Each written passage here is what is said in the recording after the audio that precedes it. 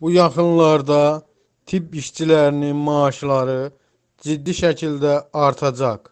Big Az xəbər verir ki, bunu Real TV-yə icbari tibbi sığorta üzrə Dövlət Agentliyinin sədri Zaur Əliyev bildirib.